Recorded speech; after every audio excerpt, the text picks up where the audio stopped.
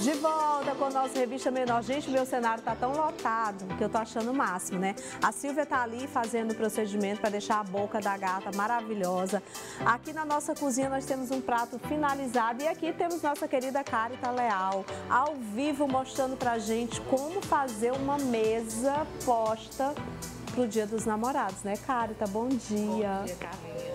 Bom dia para todos vocês.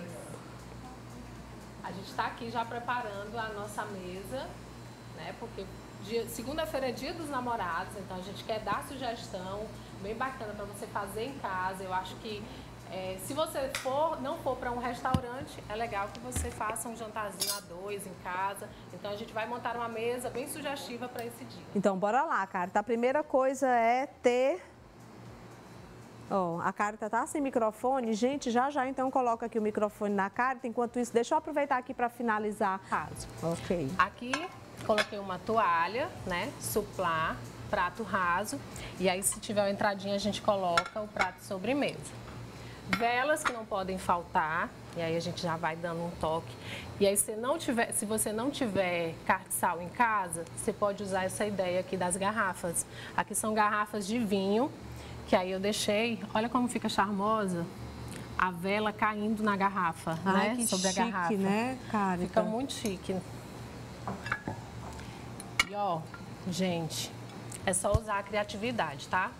E aí, Carta, você trouxe também é, todos esses elementos com a cor vermelha, que simboliza a cor do amor. A cor do amor, claro. Uhum. A gente tem que dar um, um, um ar intimista, né? Sim. Para a ocasião que pede essa, essa pegada mais. É uma dúvida que eu sempre tenho em relação aos talheres. Como você utilizar. Tem a questão do lado uhum. par e o lado ímpar, é isso? Exatamente. Então explica gente. A esquerda do prato. A gente usa o garfo. O garfo. Né? E aí, gente, ó, da direita eu acho que se a gente direita. conseguir montar assim, cara, a gente vai tá conseguir. legal, é, né? vai ficar melhor para quem está em casa. Vamos lá. Vamos ajeitar aqui. Pronto. Pronto. Então vamos lá. A dúvida é, né? Vamos lá. As taças, copos, sempre tem que ter, gente, ó. Se você vai servir um vinho, tem que ter a taça para água e a taça para vinho. Se vai servir um champanhe, um espumante, tem que ter a taça para água e a taça para espumante. O prato, se você for servir uma entradinha, você usa, se não, você tira, tá? Aqui eu vou usar uma entrada, o prato principal e os talheres. A dúvida é os talheres, né, Carlinha? É, os talheres. Vamos lá. Eu sempre fico na dúvida. Então, à esquerda do prato, a gente usa... Deixa eu o ver garfo. aqui o outro. O outro maior. O garfo. E aí, a dica é você não vai usar... Cadê o menorzinho?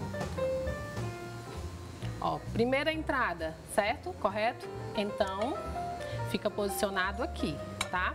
Sempre no lado esquerdo, No né? lado esquerdo. E a faca no lado direito, ao lado direito do prato.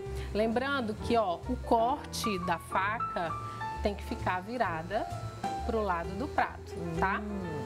E aí a gente vai eliminando quando a gente vai servindo, servindo. a gente vai eliminando os talheres, os talheres e o prato. prato certo? Okay. Então aqui está de forma correta. Aqui a gente vai usar o guardanapo.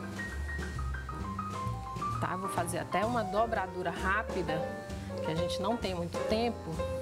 Ai, Sempre ao lado esquerdo, tá? Sempre ao lado é, do garfo ou ao centro do prato, hum. tá bom? Hum. Então essa é uma regrinha básica de etiqueta à mesa. Você pode montar a sua mesa exatamente nessa posição, tá? Ótimo. Então realmente ficou aí uma mesa posta Lembrando que é um casal, então não cabe mais ninguém nessa mesa, tá? Só você e o seu parceiro, Gente, só você e sua parceira. Exatamente. Né? E olha, Carlinha, que charme. Outra coisa, não velas, pode deixar gente, de acender pode. a vela. Não pode deixar né? de acender a vela, porque eu acho que dá um charme né, para o momento, para a ocasião, para o teu jantar. Deixa eu ver se é isso. Ai, que lindo. E olha que lindo. Olha, você não precisa nem nem colocar nenhum adorno, porque a vela já dá, já transmite esse, essa, esse amor, né? Que você quer transmitir pro seu parceiro, pro seu namorado, pro seu namorado. Ah, eu amei, Carita. Realmente ficou muito, muito lindo. Olha que mesa posta, gente, maravilhosa, né?